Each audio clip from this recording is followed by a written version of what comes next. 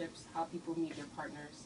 Um, you know, and I was just thinking about the fact that my parents have been married for 50, over 50 years. Yeah. And I'm thinking to myself, it's only God that can bring that kind of union and make it successful. Mm. And so I started thinking about that and thinking about, you know, some people that are struggling with, you know, finding the right partner or maybe they're in a relationship and they're, you know, having difficulty and challenges. So I wanted to put a positive song out there to celebrate people that are have been married, people that are um, engaged, people that are, you know, getting ready to walk down the aisle, and to also encourage those that are single that, you know what, love is out there, it exists.